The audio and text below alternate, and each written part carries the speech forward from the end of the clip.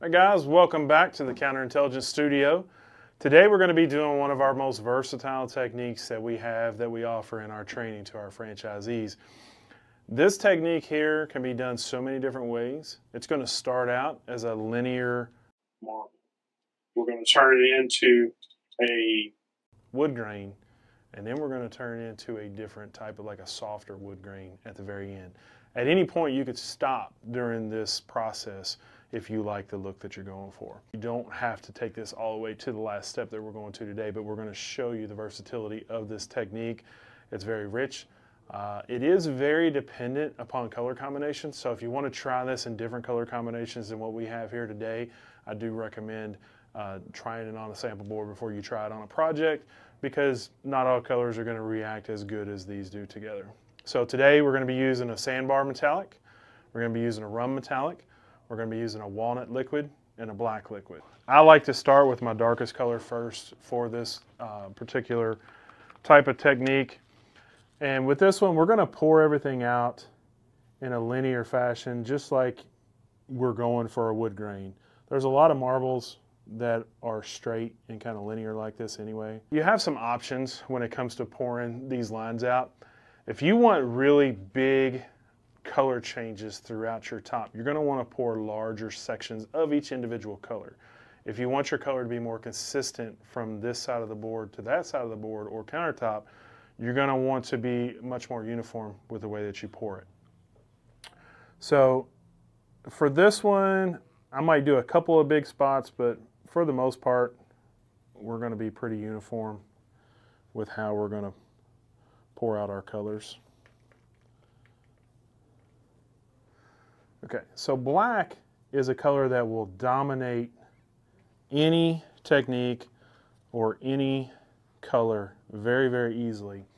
But black reacts pretty good with just about any other color that you want to put with it.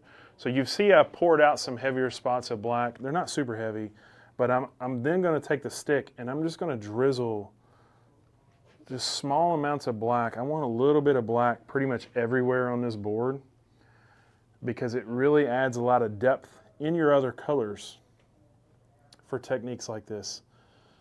It just really reacts well with all the metallics and the other liquids as well.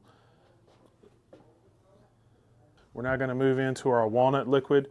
We're going to pour much heavier, bigger spots with the walnut than we did with the black. But again, I'm going to try to be pretty uniform with the amount of walnut from one side of the piece to the other. I'm just pouring it heavier than I did the black.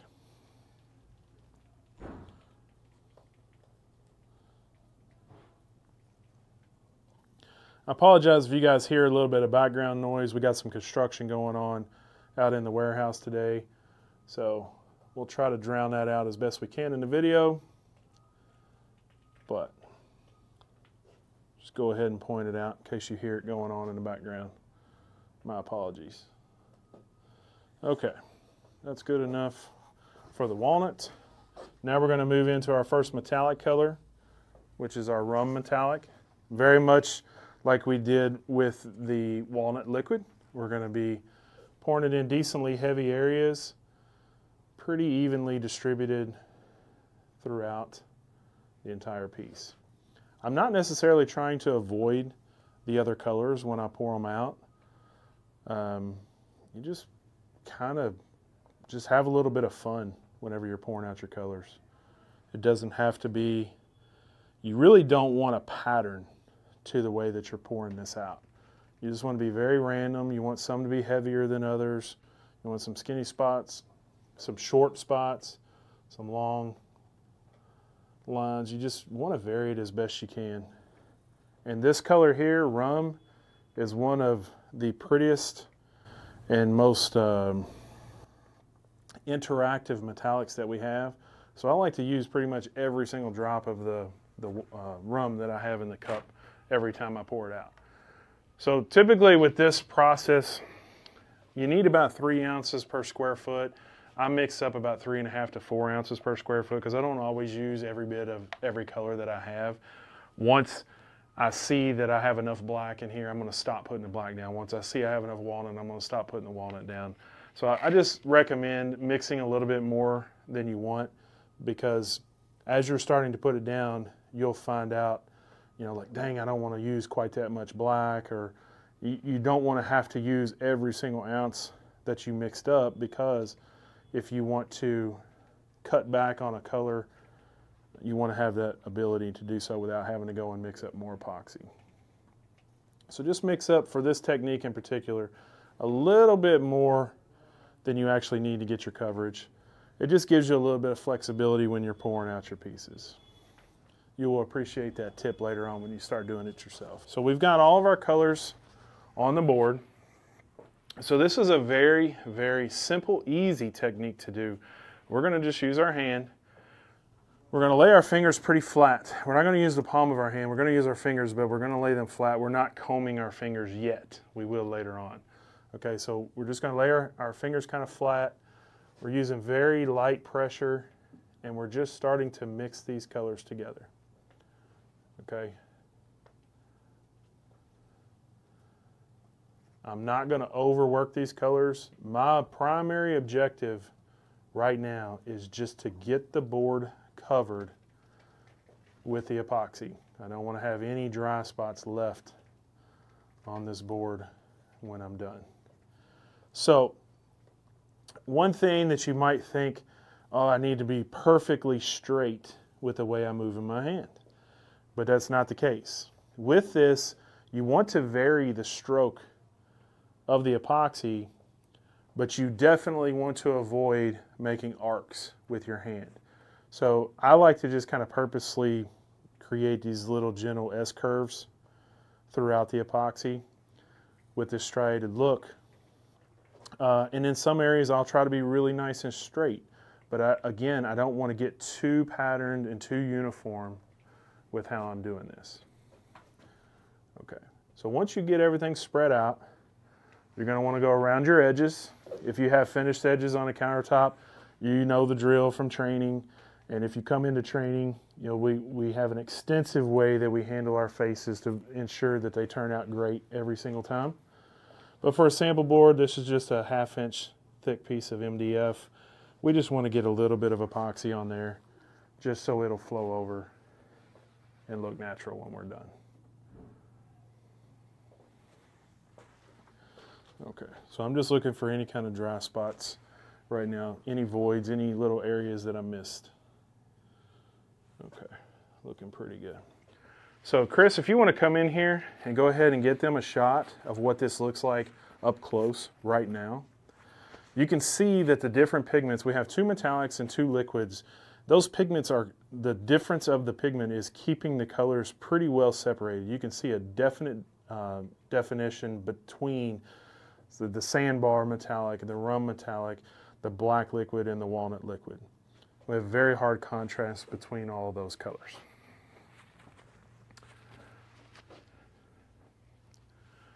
So right now, at this point, you'll see some air bubbles in the epoxy which have zero effect on what we're trying to accomplish at this particular junction.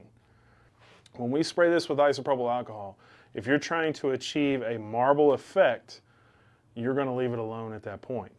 So if you're going for a marble look and you have anything in here that you really hate, let's just say you poured a real heavy swipe of walnut and it just looks too plain. You want to go ahead and run your fingers through that again before you hit it with isopropyl or a stick or anything that you want. Uh, just make sure in general the color distribution looks about how you want it to look in your marble before you spray it with the isopropyl. You can still adjust it after the isopropyl, but it just it works best if you can get it done before you hit it the first time with isopropyl. All right, so here we go. This is always the fun part.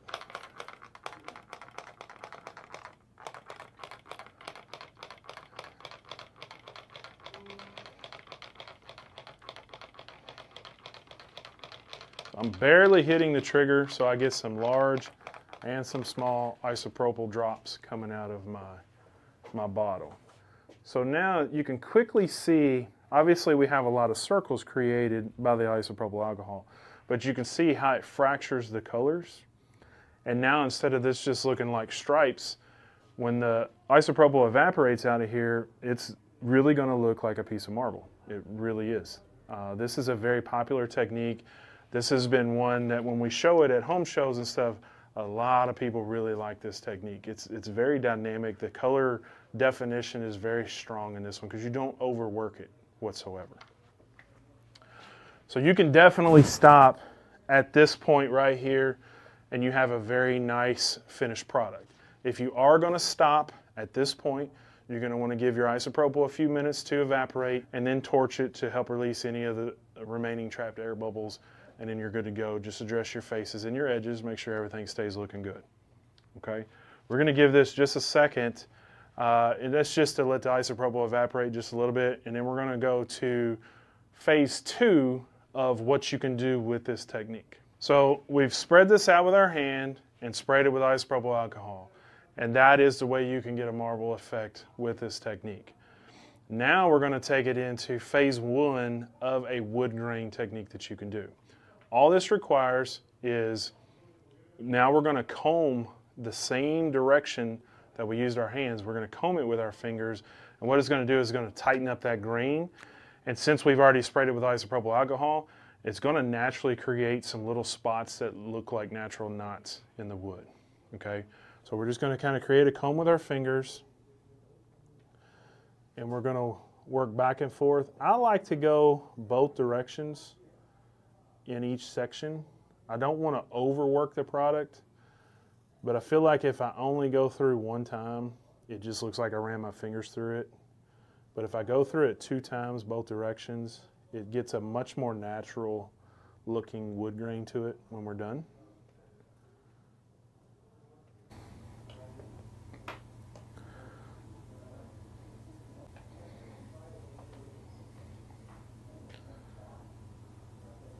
So now I'm going to go ahead and finish out the exact same technique, just varying the direction and the, the slight motion of my hands just enough to make it look natural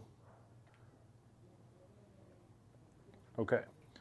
So now at this point, you can do a few different things if you want to add a little bit of extra uh, pizzazz to this.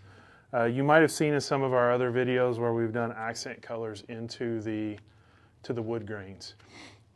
You could take a little bit of spray paint, maybe put some white lines in here, which are going to contrast really hard. You could put a blue in here, a green, any kind of color that you want to to make it kind of pop and stand out. Because if you use spray paints and you put them in with a stick and spread them out, it's going to follow the same contour that the epoxy is doing with our hands, but it's going to stay really skinny and they're going to, the paint's going to float on top of the epoxy. It's going to make this really hard contrasting color. So I think I'm going to show you all real quick with a little bit of white.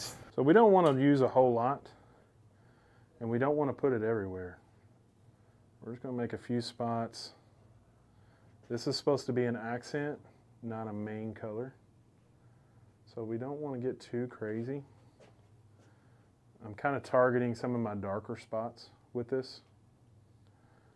So once I get an amount I'm happy with into the epoxy, I'm going to put the paint away I'm going to clean my stick because I don't want to get any more paint into the epoxy than I've already wanted.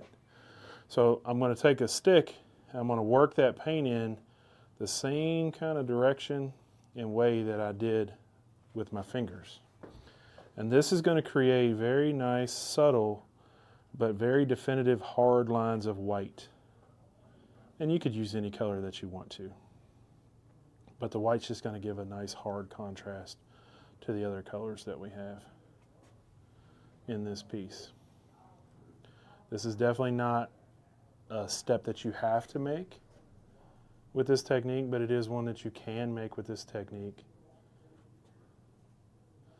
And it does create a cool effect into a wood grain. And as far as working the, the paint into the epoxy, there is no exact right amount or uh, anything like that as far as how much you work it. If you start working the paint in, you'll, you'll see it kind of disappear and a lot of people panic. They're like, "Oh, I just got rid of it," and they'll start pouring more and more paint in here. the paint's going to float to the surface. I promise you, it's going to float back to the surface. And you want it to be an accent, not a hard color. So if you like this look for the wood look, this is just going to be a nice kind of a tight grain. You can see some of the isopropyl has kind of created these circles, which is going to kind of, when this thing's all said and done, is going to kind of look like some natural knots. Do not hit this again with isopropyl if you're going to leave it like this with this technique. If you hit the wood grain with isopropyl, it's going to look more like a marble again, just a tighter grain marble than it does wood. Okay, so you want, with a wood, you want to hit it prior to combing with your fingers versus afterwards, and it just looks more natural that way. Okay, so just so you can see really truly what this should look like when it's done. I'm going to go ahead and torch this just to get rid of the bubbles so you can get a nice clean picture of what it should look like at this point if you're going to leave it alone.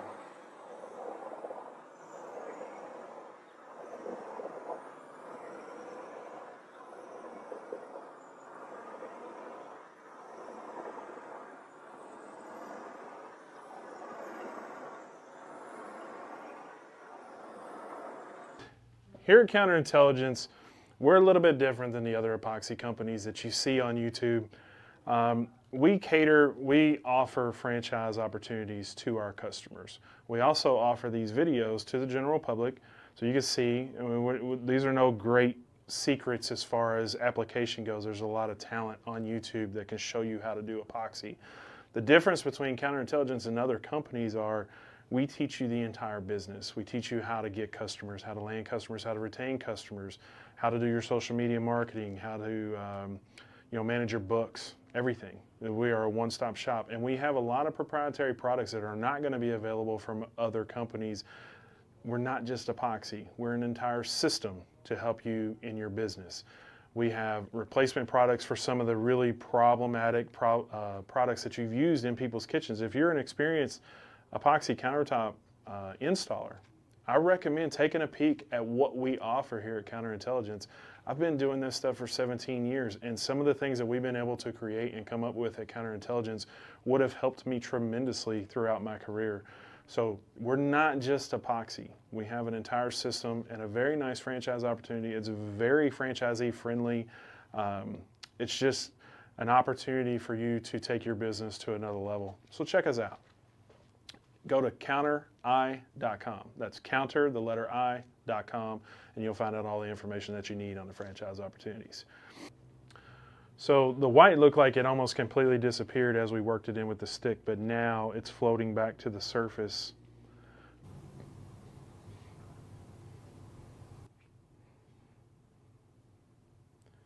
And you can see a lot of nice graining in here. This actually is a nice uh, natural grain effect if you leave it just like this. And that's always our go at Counter Intelligence. Uh, I can teach you how to make anything you want. I can teach you how to make your epoxy look like flames. I can teach you how to make it look like a galaxy or anything that you want. But our primary goal at Counter Intelligence, we teach five techniques to our franchisees on their initial training. And with those five techniques, you can replicate just about any type of natural stone that you can come across or wood that you can come across. So now I'm going to show you another addition that you can make to this technique. You have an option here on whether to spray this again with isopropyl before this technique. Uh, personally, I don't like to as long as the epoxy hasn't been down too long. Like this has only been down a few minutes. It's taken us maybe 10, 15 minutes to do this sample after all the times that we stop and talk about other things. But um, the Bondo blade I like to use a smaller Bondo blade. This is a four inch blade. Um, if you use too big of a, a, blade, it creates a wider pattern and it just doesn't look as natural. Um, so a, a, narrower Bondo blade is best for this technique. So with this technique, we're going to take our Bondo blade and we're going to hold it at a very shallow angle. And we're literally just going to skim it across the top. We're not pushing down. We're not trying to move the product at all. And what we want, as this epoxy is not perfectly level yet, and this blade is not perfectly level straight across, as we skim this across the top, it's going to flatten some of this grain and it's going to skip over some of this grain. So everywhere it flattens it, it's going to soften that grain, and everywhere that it misses is going to be a very cool, um, just bold looking spot into the finished product. All right.